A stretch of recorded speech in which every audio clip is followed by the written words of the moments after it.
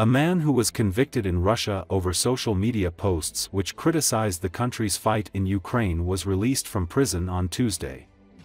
Alexei Moskalev, 55, a single father, was met by his daughter Maria outside the jail in Tula region. After his release, Moskalev told OVD Info about his experience spending two months in prison. He likened the conditions inside his cell to a torture chamber that was 2 meters by 1 meter in size. At first, I was sitting alone, then they put a second person in, he said. Moskalev also claimed that the jail's floors were rotten, rats were everywhere, coming from the sewers and everywhere. In 2022, his daughter refused to participate in a patriotic class at school and made a drawing which said, No to war and glory to Ukraine. He was then investigated by police and indicted over a series of social media posts about Russia's activities in Ukraine. Moskalev was sentenced to two years in prison, but fled house arrest hours before the jail term was handed down. He was arrested in neighboring Belarus and extradited to Russia. Moskalev's daughter was dispatched to an orphanage following his arrest.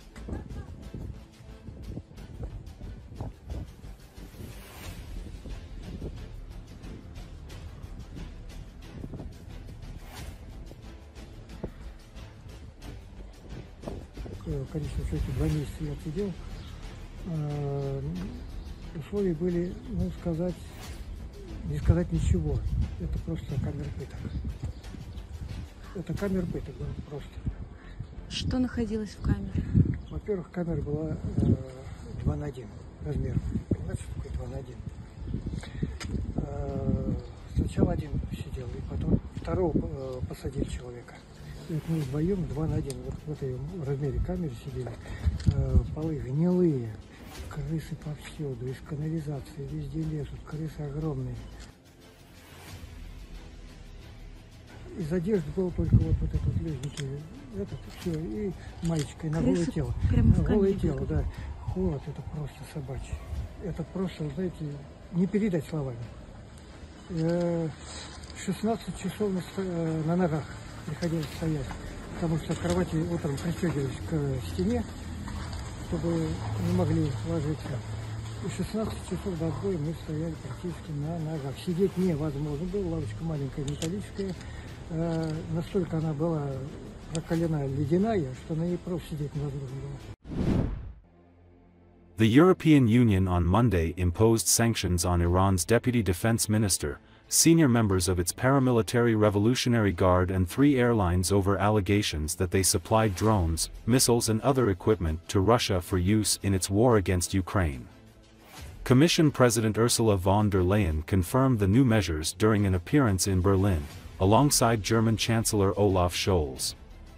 The daily killing and the death of innocent people that we see would not be possible without the supplies and the supply lines by Iran. And therefore, these sanctions against Iran are sending a very clear message. Contributions to terror and Russia's illegal war of aggression have serious consequences, von der Leyen said. Iranian Deputy Defense Minister Syed Hamzeh Ghalandari is one of seven senior officials now banned from traveling in Europe and whose assets in the bloc were frozen. The EU said he is involved in the development of Iran's and missile program, given his high-level defense role. Iran Air, Mahan Air and Saha Airlines had their assets frozen. The EU said their planes were used repeatedly to transfer Iranian-made unmanned aerial vehicles and related technologies to Russia, which have been used in Russia's war of aggression against Ukraine. EU foreign ministers endorsed the sanctions at a meeting in Luxembourg. In March, the bloc had warned that, were Iran to transfer ballistic missiles and related technology to Russia for use against Ukraine, the EU would be prepared to respond swiftly, including with new and significant restrictive measures. EU member countries, with the exception of Hungary, have been supplying weapons and ammunition as well as economic and other support to Ukraine worth some 118 billion euros since Russia launched its full-scale invasion in February 2022.